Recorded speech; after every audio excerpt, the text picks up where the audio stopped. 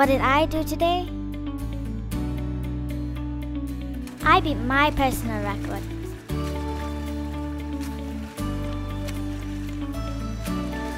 I walked to class on my own. I used my imagination.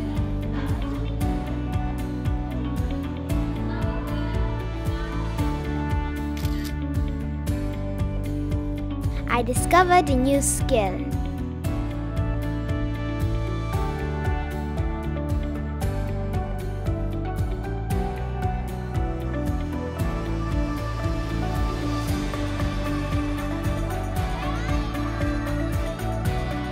Today, I shared my story.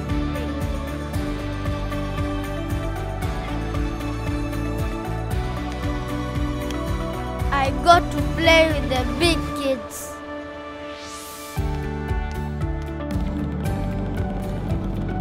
Today, I led the class.